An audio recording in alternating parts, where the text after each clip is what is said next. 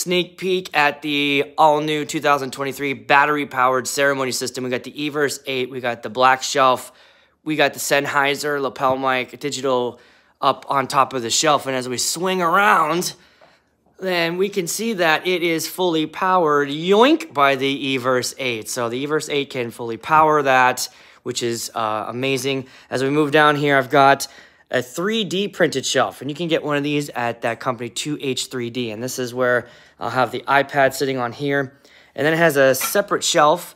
Uh, so in case I need to run a wireless handheld as well, I have an option that I can do that. Now this will need to be powered by something else. I can also put a ham sandwich there if I get hungry.